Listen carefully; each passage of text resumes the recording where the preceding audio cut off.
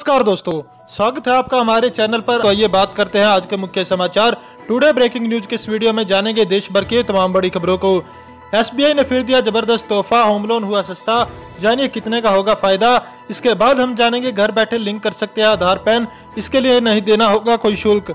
इसके बाद हम जानेंगे इंटरनेशनल योगा डे 2020 कोरोना की वजह से डिजिटल प्लेटफॉर्म पर मनेगा योग दिवस। जीत सकते हैं ये बड़ा इनाम। इसके अलावा इन तेरह राज्यों में one nation, one ration card योजना लागू करने को लेकर हुआ बड़ा ऐलान। अगली बड़ी खबर में हम जानेंगे, सुप्रीम कोर्ट का आदेश। पंद्रह दिन में घर भेजे जाए सभी प्रवासी मजदूर, पैदल चलने पर दर्ज केस लिए जाएँगे वापिस। आज की पहली बड़ी खबर में पेश है चीनी बीमारी का बिल्कुल ताज़ा अपडेट पूरे देश भर से। देश में कोरोना संक्रमितों की संख्या दो लाख छियासठ हज़ार नौ सौ हो गई। इसी बीच ये बात अच्छी है कि जितने एक्टिव केस है, उतने ही मरीज़ ठीक हो गए हैं। Covid nineteen India dot O R G के मुताबिक मंगलवार सुबह तक एक लाख उनतीस हज़ार तीन सौ पैंतालीस मरीज़ बीमार है तो एक लाख उनतीस हज़ार पचानवे स्वस्थ हो गए। उधर दिल्ली के मुख्यमंत्री अरविंद केजरीवाल के सुबह उनके घर पर कोरोना टेस्ट हुआ। बताया जा रहा है कि उनकी रिपोर्ट आने में 48 घंटे का वक्त लगेगा। उनकी तबीयत रविवार दोपहर से खराब है, उन्हें हल्का बुखार और खांसी है। ब्राज़ील और रूस में भी बढ़ रहा है रिकवरी रेट। कोरोना से सबसे ज़्यादा प्रभावित दुनिया के टॉप दस देशों में से दो ब्राज़ील और रूस ऐसे हैं जहाँ एक्टिव और रिकवर केस में ज़्यादा फ़र्क नहीं। चलिए बढ़ते हैं अगली बड़ी खबर की ओर।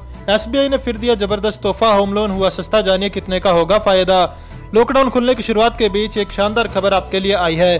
देश के सबसे बड़े bank, state bank of India ने लोन पर किए जाने वाले ब्याज में एक बार फिर कटौती का ऐलान किया। एसबीआई ने सोमवार को कहा कि वह 10 जून से अपनी कोष की सीमांत लागत आधारित ब्याज दर, यानी एमसीएलआर में ज़ीरो दशमलव दो पाँच प्रतिशत की कटौती करेगा। ऐसे होगा आपको फ़ायदा। बैंकों ने यहाँ जारी विज्ञप्ति में कहा कि एक साल की अवधि की एमसीएलआर दर को सात दशमलव दो पाँच प्रतिशत से घटाकर सात प्रतिशत कर दिया गया है। बैंक की ओर से लगातार तेरहवीं बार एमसीएलआर दर में कटौती की गई है। स्टेट बैंक इससे पहले बाहरी बेंचमार्क से जुड़ी ऋण दर, ईबीआर के साथ ही रेपो रेट दर से जुड़ी कर्ज की ब्याज दर में एक जुलाई से ज़ीरो दशमलव चार ज़ीरो प्रतिशत कटौती की घोषणा कर चुका है। बैंक ने ईबीआर दर को जहाँ सात दशमलव ज़ीरो पाँच प्रतिशत से घटाकर छह दशमलव छह पाँच प्रतिशत सालाना कर दिया है। वहीं रेपो दर से जुड़ी ब्याज दर को छह दशमलव छह पाँच प्रतिशत से घटाकर छह दशमलव दो पाँच प्रतिशत कर दिया गया है। चलिए जानते हैं अगली बड़ी खबर में क्या है। केंद्र सरकार ने अपने कर्मचारियों के लिए जारी किए नए दिशा निर्देश अब करना होगा, इन नियमों का पालन। कोरोना वायरस का खतरा अभी भी देश पर मंडरा रहा है। इसी के चलते केंद्र सरकार ने अपने कर्मचारियों के कार्यालय आने के बारे में नए दिशा निर्देश जारी किए। सरकारी कार्यालय में कोरोना पॉजिटिव मामले लगातार बढ़ने के बाद यह कदम उठाया गया। सरकार के नए दिशा निर्देश अब केवल उन कर्मचारियों को कार्यालय आने को कहा, जिन्हें कोई लक्षण नहीं। आइए आपको बताते हैं नए नियमों के बारे में। अगर सर्दी, खांसी या बुखार है तो घर पर ही रहने को कहा गया है। एक दिन में 20 से अधिक अधिकारी, कर्मचारी काम नहीं करेंगे, इसके लिए रोस्टर बनाया जाएगा। बाकी घर से काम करते रहेंगे। अगर एक कैबिन में दो अधिकारी हैं तो वह एक दिन छोड़कर जाएँगे। पूरे समय मास्क लगाना होगा, जो नहीं लगाएँगे, उनके खिलाफ अनुशासनात्मक कार्रवाई होगी। बात करेंगे आज की अगली बड़ी खबर की। घर बैठे लिंक कर सकते हैं, आधार पैन इसके लिए नहीं देना होता कोई शुल्क। अगर आपके अभी तक अपना पैन नंबर आधार से लिंक नहीं कराया तो जल्द से जल्द करा लीजिए। 30 जून तक लिंक नहीं कराने पर इनकम टैक्स डिपार्टमेंट आप पर दस हज़ार रुपए तक का जुर्माना लगा सकता है। इससे पहले आईटी डिपार्टमेंट ने कहा कि अगर कोई पैन कार्ड होल्डर्स पैन को आधार से लिंक नहीं कराता है तो उनके पैन को निष्क्रिय घोषित कर दिया जाएगा। इनकम टैक्स एक्ट के तहत सक्रिय पैन न रखने के आरोप में जुर्माना भी लगाया जा सकता है। ऑनलाइन कैसे लिंक करें? सबसे पहले आयकर विभाग की आधिकारिक वेबसाइट www.incometaxindia.afling.gov.in पर जाएँ। बाई तरफ़ लिखे क्विक लिंक्स विकल्प के लिंक आधार पर क्लिक करें। इसके बाद स्क्रीन पर एक नया पेज खुलेगा। इसके बाद आपके सामने नया टैब खुलेगा। इसमें आपको पैन नंबर, आधार नंबर और आधार कार्ड में दर्ज नाम डालना होगा। इसके बाद टर्म्स एंड कंडीशन को ओके करके एवं कैप्चा कोड भर के आप इन दोनों दस्तावेजों को लिंक करा सकते हैं। चलिए जानते हैं अगली बड़ी खबर में क्या है। इंटरनेशनल योगा डे 2020 कोरोना की वजह से डिजिटल प्लेटफॉर्म पर मनेगा योग दिवस जीत सकते हैं ये बड़े इनाम। विश्व भर में फैली महामारी कोविड 19 के मद्देनजर इस वर्ष का अंतर्राष्ट्रीय योग दिवस डिजिटल मीडिया प्लेटफॉर्म पर मनाया जाएगा। इस बाबत सरकार का कहना है कि इस बार योग दिवस पर कोई भी सामूहिक समारोह या कार्यक्रम नहीं होगा। हर साल योग दिवस एक निश्चित थीम पर मनाया जाता है। इस साल की थीम है yoga at home and yoga with family.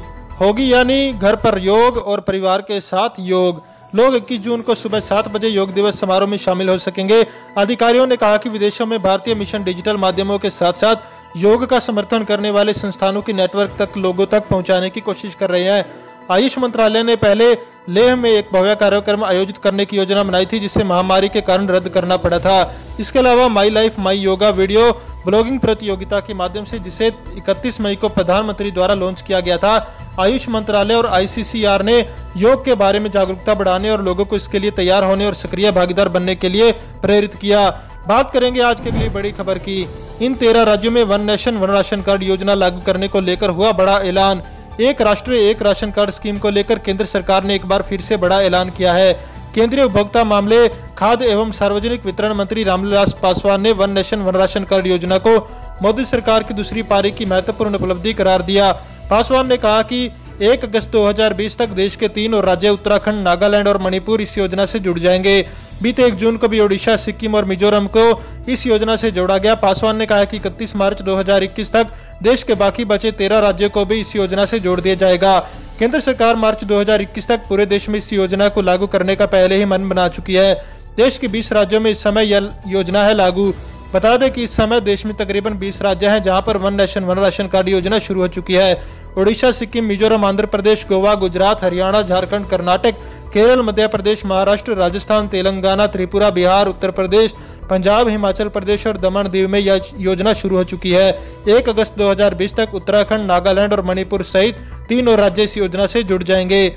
चलिए जानते हैं, अगली बड़ी खबर है, सुप्रीम कोर्ट का आदेश। पंद्रह दिन में घर भेजे जाएँ सभी प्रवासी मजदूर। पैदल चलने पर दर्ज केस लिए जाएँगे वापिस। सुप्रीम कोर्ट ने कोरोना वायरस की वजह से देश भर में लगे लॉकडाउन में फंसे प्रवासी मजदूरों को लेकर बड़ा फैसला दिया है। सुप्रीम कोर्ट ने केंद्र और राज्य सरकारों को पंद्रह दिन के अंदर सभी मजदूरों को उनके घर वापस भेजने के आदेश दिए। कोर्ट ने कहा, पंद्रह दिनों में सभी प्रवासियों को वापस भेजा जाए। प्रवासी मजदूरों के लिए 24 घंटे के अंदर केंद्र सरकार की ओर से अतिरिक्त ट्रेनें दी जाएँगी। सुप्रीम कोर्ट ने अन्य राज्यों से संबंध में हल्फनामा मांगा है। कोरोना वायरस की वजह से देश में 25 मार्च से लॉकडाउन लगा है। अभी लॉकडाउन का पांचवा चरण चल रहा है। हालाँकि सरकार लॉकडाउन 5.0 में अनलॉक ज़ीरो दशमलव वन के तहत आर्थिक गतिविधियों को शुरू करने के लिए कई तरह की रियायतें दे रही है। मगर लॉकडाउन में काम बंद होने से प्रवासी मजदूरों के सामने खाने कमाने का संकट पैदा हो गया है। ऐसे में वो शहर छोड़कर अपने गाँवों और घरों की ओर कूच कर रहे हैं। सुप्रीम कोर्ट ने प्रवासी कामगारों के लिए काउंसलिंग सेंटर बनाने के आदेश भी दिए हैं। सड़क पर चलने के खिलाफ वापस लिए जाए केस। इसके साथ ही अदालत ने लॉकडाउन में सड़क पर चलने के कारण प्रवासियों के खिलाफ दर्ज केस को वापस लेने को भी कहा है। चलिए बढ़ते हैं अगली बड़ी खबर की ओर। व्हाट्सएप यूज़र्स के लिए अलर्ट खतरे में पड़ा आपका मोबाइल नंबर। व्हाट्सएप का इस्तेमाल करने वाले करोड़ों यूज़र्स के लिए अलर्ट सोशल मीडिया ऐप पर एक ऐसा बग का पता चला है जो कि आपके मोबाइल नंबर को खतरे में डाल सकता है। इस बग की वजह से यूज़र का मोबाइल नंबर आसानी से गूगल पर सर्च किया जा सकता है, जिससे हैकर कुछ भी कर सकते हैं। बग ढूँढने वाले रिसर्चर का दावा है कि मोबाइल नंबरों को गूगल सर्च पर इंडेक्स्ड किया जा रहा है, जिससे किसी को भी आसानी से इसके बारे में पता चल सका है। यह बग व्हाट्सएप के क्लिक टू चैट फीचर पर मिला है। अतुल जयराम नाम के व्यक्ति ने इस बग को खोजा है, जिसके अनुसार नंबर सर्च होने से किसी भी व्यक्ति की प्राइवेसी पर आँच आ सकती है। बिना फ़ोन नंबर सेव किए कर सकते हैं chat. Click to chat option से कोई भी व्यक्ति बिना किसी का नंबर सेव किए आसानी से चैट कर सकता है। जयराम ने कहा कि ऐसे में जो लोग इस तरह से चैट करते हैं, उनका फ़ोन नंबर आसानी से गूगल सर्च रिज़ल्ट में आ जा सकता है, क्योंकि सर्च इस फीचर का मेटा डाटा इंडेक्स कर लेती है। चलिए जानते हैं अगली बड़ी खबर में क्या है। कोरोना वायरस से परेशान उत्तराखंड में मंडराया एक और बीमारी का खतरा, सरकार अलर्ट पर। उत्तराखंड में अभी कोरोना का कहर थमा भी नहीं था कि सरकार के सामने डेंगू की चुनौती भी खड़े होनी हो रही है। मानसून सीज़न आने को है और ऐसे में जगह जगह में ठहरा हुआ पानी डेंगू के पनपने की सबसे बेहतर जगह हो सकता है। सरकार भी जानती है कि अगर कोरोना काल में डेंगू ने दस्तक दे दी तो हालात बिगड़ सकते हैं। ऐसे में सरकार ने जहाँ एहतियातन तैयारी शुरू कर दी है तो वहीं लोगों को जागरूक करने का भी काम हो रहा है। स्वास्थ्य विभाग सतर्क है, बैठकें शुरू हो चुकी है। मुख्य सचिव उत्पल कुमार का कहना है कि डेंगू की दस्तक को लेकर जिला प्रशासन व स्वास्थ्य विभाग के साथ बैठकें की जा रही है। स्वास्थ्य सचिव लगातार जिला स्तरीय अधिकारियों और सीएमओ के साथ समीक्षा कर रहे हैं। मुख्य सचिव के मुताबिक बैठकों में सभी स्थानीय निकाय के अधिकारियों को कहा गया कि सफ़ाई की व्यवस्था बहुत व्यापक तौर पर चलानी चाहिए ताकि कहीं पानी को इकट्ठा न होने दिया जाए। अगली बड़ी खबर, दो महीने बाद आज से शुरू होगी एमपी बोर्ड की परीक्षा छात्रों के लिए किए गए हैं, ये खास इंतज़ाम। एमपी बोर्ड की हायर सेक्रेटरी सर्टिफिकेट और वोकेशनल कोर्स की परीक्षा आज से शुरू हो गई है। छात्र अपने साथ सैनिटाइजर मास्क ग्लव्स और पानी लेकर पहुँचे हैं। प्रदेश भर से करीब साढ़े आठ लाख छात्र परीक्षा में शामिल हो रहे हैं, जिनके लिए साढ़े तीन हज़ार से ज़्यादा परीक्षा केंद्र बनाए गए। इन छात्रों को मिलेगा एक और मौका। छात्रों की सुविधा के लिए कई तरह की छूट दी गई है। कोरोना पॉजिटिव छात्रों से लेकर क्वारंटीन में रहने वाले और दिव्यांग छात्र अगर परीक्षा नहीं दे पाए तो उसके लिए विशेष परीक्षा आयोजित की जाएगी। अगर वह विशेष परीक्षा में शामिल होने के बाद किसी विषय में फेल हो जाते हैं तो ऐसे छात्र मंडल की हायर सेकेंडरी पूरक परीक्षा 2020 में सम्मिलित हो सकेंगे। बात करेंगे आज के लिए बड़ी खबर की। सोने चांदी की कीमतों में फिर लगी आग, जानिए क्या हो गया है 10 ग्राम गोल्ड का रेट। अनलॉक 1.0 के बीच देश में ज़्यादातर मॉल्स और रेस्टोरेंट्स खोले जा रहे हैं। लॉकडाउन में रियायत का यही सिलसिला अब अन्य देशों में देखने को मिला है। इस बीच बाजारों में उम्मीद जागने लगी है। अंतर्राष्ट्रीय बाज़ार के मज़बूत संकेतों के चलते राष्ट्रीय राजधानी के हाजिर सराफा बाज़ार में सोमवार को सोने का भाव तीन सौ उछाल के साथ छियालीस हज़ार नौ सौ उनसठ रूपए प्रति दस ग्राम हो गया। एचडीएफसी सिक्योरिटीज ने यह जानकारी दी। इसके पिछले कारोबारी सत्र में सोना छियालीस हज़ार छह सौ ग्यारह रूपए प्रति दस ग्राम पर बंद हुआ था। चांदी की कीमत भी सात सौ चौरानवे रूपए का उछाल दर्शाती उनचास हज़ार दो सौ पैंतालीस रूपए प्रति किलोग्राम पर बंद हुई। H D F C securities के वरिष्ठ विश्लेषक तपन पटेल ने कहा, सोने की अंतर्राष्ट्रीय कीमतों में तेज़ी के बीच दिल्ली में 24 कैरेट, सोने के हाजिर भाव में तीन सौ की तेज़ी आई।